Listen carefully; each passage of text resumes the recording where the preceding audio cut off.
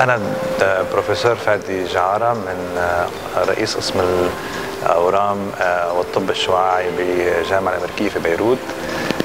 كلمة صغيرة لزملائي الأطباء عن الكشف المبكر وال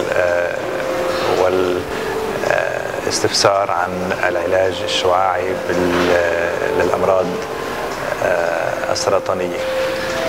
الكشف المبكر هو أساس آه، كل آه، النجاحات اللي ممكن تكون بعلاج السرطان كل ما يكون الكشف مبكر كل ما بيكون عندنا آه، إمكانية نجاح و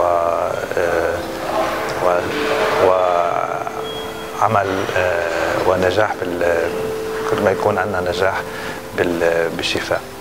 الحقيقة إنه مع النجاح مع الاكتشاف المبكر. هناك كمان الثقة بالفريق الطبي إن كان بقصة الجراحة أو الشعاعي العلاج الشعاعي أو العلاج الكيميائي.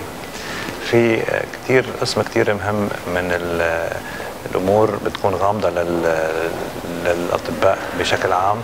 هي عن مضاعفات هالعلاجات.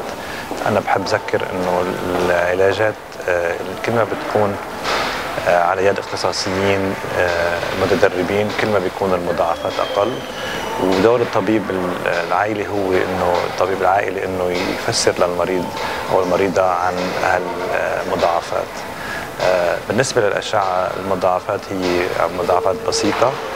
بتقتصر على المنطقة اللي عم يجي عليها العلاج الشعاعي يعني إذا عم نعالج الحوض ما رح يكون في مضاعفات بالرأس أو أو هبوط في الشعر إذا عم نعالج الرئة ما راح يكون في مضاعفات بالجهاز الهضمي وكذلك دواليك. يعني علاج إذا ما نحكي علاج الثدي المضاعفات هي رح تكون احمرار في البشرة اللي هو بدوم بين أسبوع و10 أيام وبعدين بيختفي. آه كثير مهم إنه المريضه أو المريض يكونوا على بينة من هالأمور مشان ما يكون عندهم وهم ويكون عندهم آه استعداد إنه يكملوا ويكفوا العلاج بدون أي توقف.